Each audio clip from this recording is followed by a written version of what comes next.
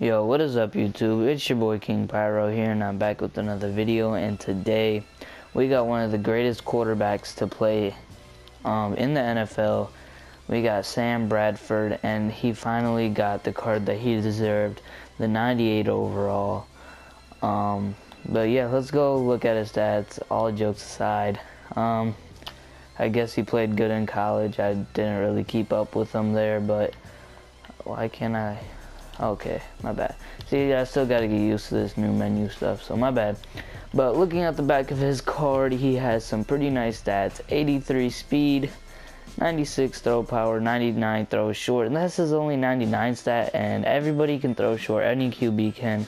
So, I mean, that stat really doesn't even affect you that much, in my opinion. Throw accuracy mid, 94. Throw accuracy deep, 97. 96 throw power, 94 play action, 87 throw on the run. Um, we'll be testing that all out, but let's compare them. Alright, so we got Jameis Winston. A lot of people have this card, and Sam Bradford beats him in pretty much every throwing stat. Um, he just has 3 plus in throw power, and then the throw on the run is better, and plus 1 in speed. But I would still give the nod to Sam Bradford. Alright, so lastly we got Randall Cunningham and uh, 96 overall, and I'm not going by um, overall, but I'm going by the price, uh, like if they're near the same price, and um, by who may have this card. I think a lot of people have this card, so yeah. And I would still give the nod to Sam Bradford. Now, before we do the review, I might get into the gameplay.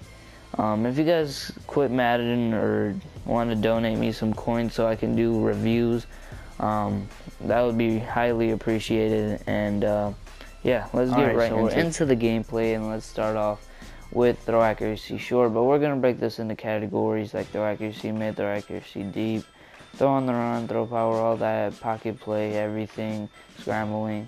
So throw accuracy short you don't have a problem with it. Even if you're throwing on the run, this guy just throws dots. He'll find a way to get it to the wide receiver, touch passes, lobs, everything. Um, he'll get it to the receiver when it comes to the short pass. But I mean, a lot of quarterbacks can throw short. I really don't think that's a stat that you shouldn't buy a card for. Like even if it had 90 throw uh, short, I would still go out and get the card if it had like good throwing stats um, all over. But um, let's move on to mid. His throw accuracy mid was the least impressive um, throwing stat, but that's not to say he's bad at it. He was actually really good, but that was just something that he wasn't that good at next to throwing on the run. But yeah, you shouldn't have a problem if you're in the pocket and you're throwing um, in middle, but I'm at mid. But um, if you're gonna throw on the run and throw it like medium or middle, uh, he's he's gonna throw it bad or like I mean not bad, but he, he won't be consistent enough for you to rely on him to throw it. So don't try throw accuracy mid.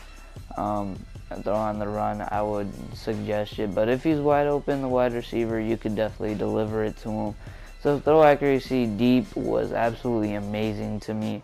I actually think that was the best part because I have like 40k receivers. Like my receivers are not that high tier, and he was throwing to them, and they're just getting spec catches that I've never seen before, throwing to them on stride and everything. So definitely not nothing to worry about there. But don't throw on the run deep at all.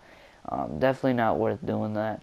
But um, so would I go out and get this card? Um, yes. Um, I'm kind of hesitant because he's just like barely worth 100k. Um, so I mean, this is not a card you want to rush out and get, but definitely worth a try. Um, did a lot, did a lot for me. You know, he he didn't mess up a lot of plays. He didn't overthrow or anything.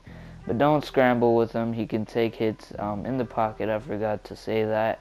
But don't scramble. He will fumble. But Alright, so yeah, he is worth around 100k. If you get this card, he'll do some good for you, definitely. So you won't be disappointed when you pick him up. Just know his limits. He's not going to do crazy throwing the run passes deep, but he'll definitely get the job done and will do it effectively.